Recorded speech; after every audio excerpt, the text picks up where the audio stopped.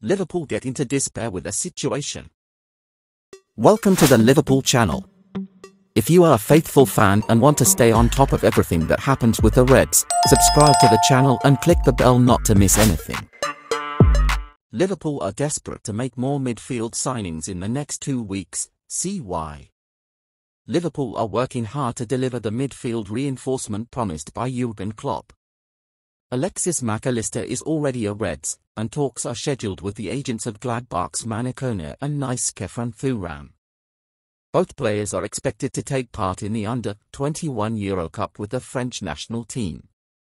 The competition starts on June 21 and ends on July 8, the same day Liverpool are due to report for the start of pre-season.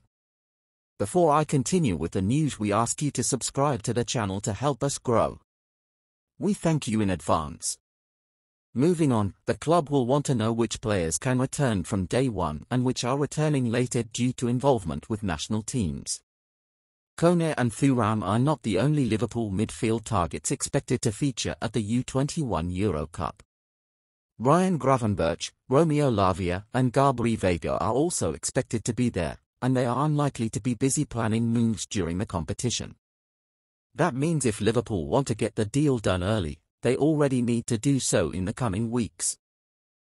Want to have quick and exclusive news about Liverpool? Then subscribe to the channel and click the bell not to miss anything.